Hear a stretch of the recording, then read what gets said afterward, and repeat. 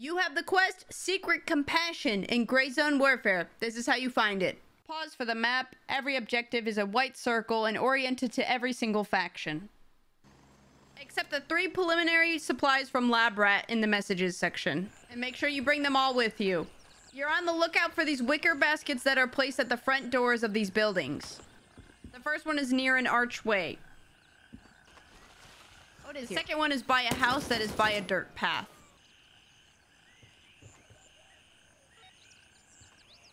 Lastly, there's a house across town that has the wicker basket on the second floor.